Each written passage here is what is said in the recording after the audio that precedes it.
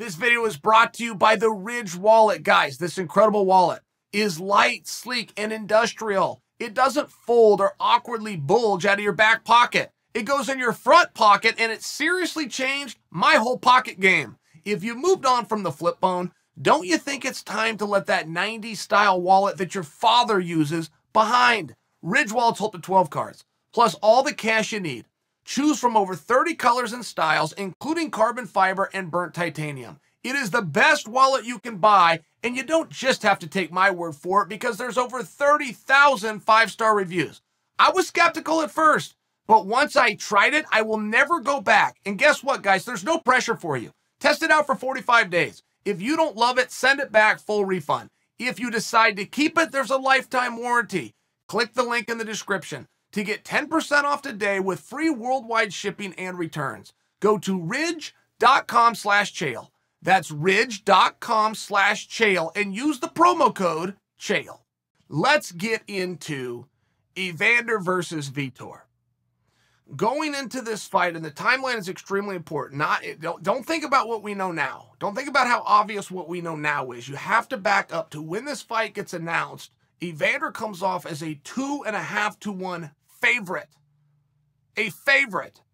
It was a little bit surprising that Vitor didn't flinch. I mean, the, the fact that Vitor was changing his body and his physiology to get ready to make 185 pounds, and with the snap of a fingers, is now in open weight class. There's nothing he could have weighed in at that would have been heavy enough that they would have canceled the fight. Pretty damn big change.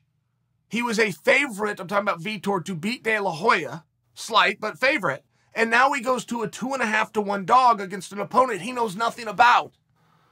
In terms of right now and where's this guy, it was a big risk by Vitor. It really was a big risk. Now, one day before the weigh-ins, two days before bell time, uh, open workout surfaces of Evander Holyfield, and it was a disaster. It was an absolute disaster.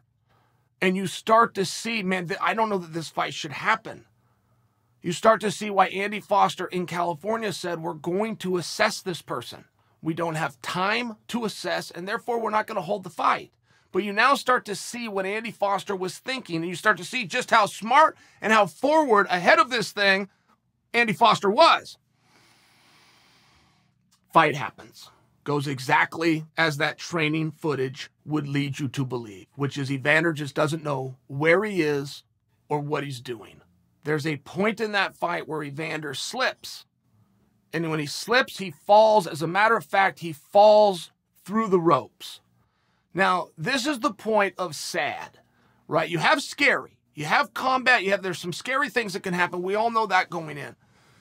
Now you're at the point of sad of what do we do now?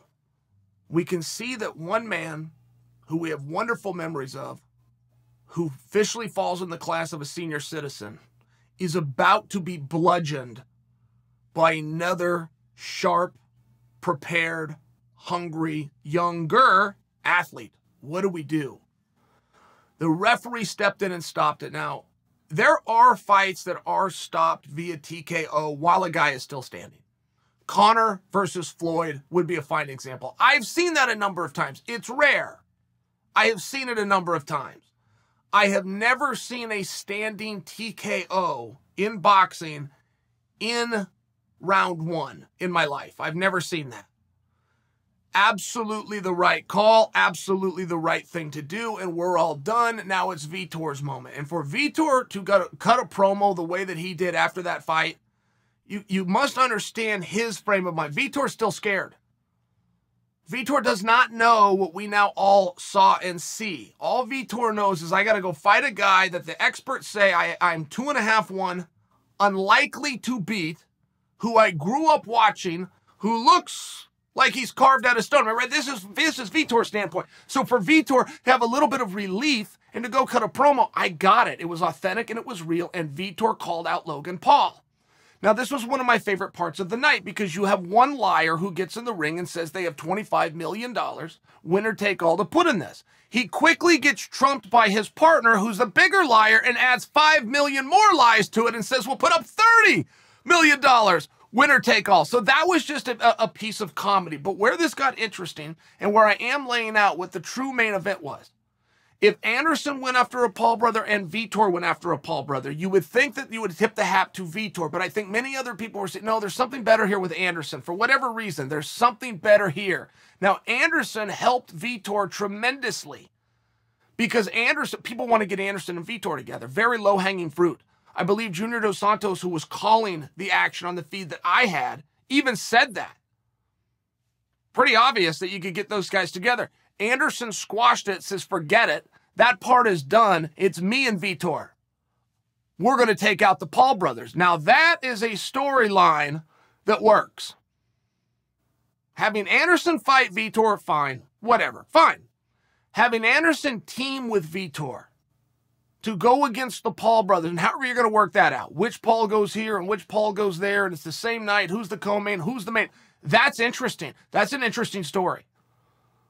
I think that nothing from a marketing standpoint as to when one fight ends, preparation for the next fight begins, I don't think anything was as helpful as that. I hope someone runs with it. I haven't seen anybody run with it. I, I think I'm the first to maybe bring it to your guys' attention, but it was a great piece of theater done by Anderson. You're not going to get me and Vitor against each other. Me and Vitor are now going to team up. Fellow Brazilians, former opponents, we're on the same team now and we're taking on these two. It's great. It works. The story works.